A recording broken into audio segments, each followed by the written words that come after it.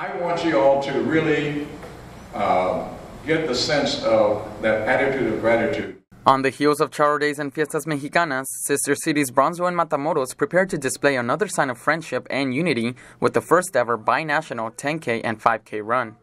The run will take place from 8:30 a.m. to 1:30 p.m. March 24th. Entry fee is $10 or 150 pesos for all routes. The 5K Brownsville route will begin at the UTRGV main building and end at the Gateway International Bridge. On the Matamoros side, the 5K will start at the Gateway International Bridge and finish at the Presidencia Municipal, located at Calle Sexta between Gonzales and Morelos, Zona Centro. The 10K Brownsville Matamoros route will also begin at the UTRGV main building but ends at the Presidencia Municipal. All runners competing in the 10K must bring proper international travel documentation to leave and return to the U.S. In a news conference earlier today, representatives from Brownsville and Matamoros spoke about the importance of the run, which will benefit the Teleton USA Foundation. UTRGV President Guy Bailey took the opportunity to announce the university's plans of establishing a recruiting office in Matamoros. Well, we have been talking about this for several months, and we're working with the U.S. consulate, and they have identified some potential space.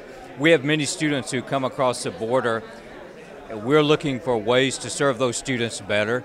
During the news conference, Matamoros Mayor Jesus de la Garza Diaz del Guante said one of the main purposes of the run is to strengthen the bond between Brownsville and Matamoros. Brownsville Mayor Tony Martinez explained how Fernando Landeros Verdugo, last year's Mr. Amigo and the founder and president of the Teleton Mexico Foundation and the Teleton USA Foundation, played a big factor in the project. Each participant will receive a medal and t-shirt.